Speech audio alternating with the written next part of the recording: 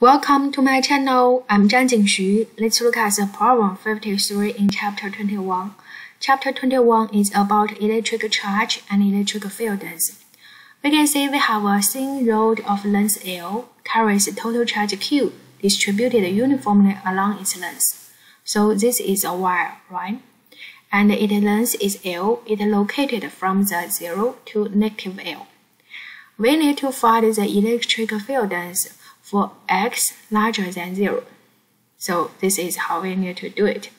And then we look at the x-axis. We can consider a small fraction for this wire.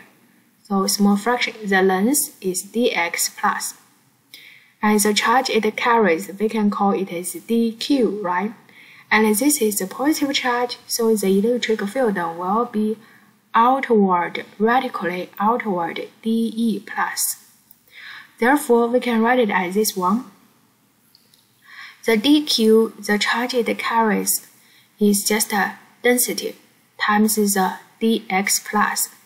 And this density can be written as the total charge for this wire divided by length of this wire, q divided by L dx plus.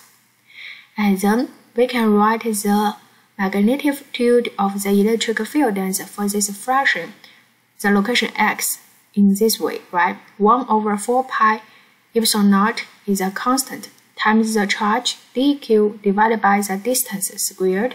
The distance is x plus x plus.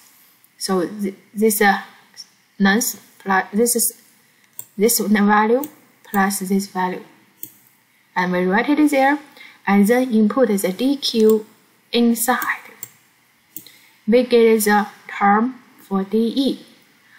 Now we can do the integral for the x plus from the 0 to L.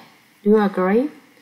And then after we do integral, we can get the magnitude for the electric field in this term. Thank you.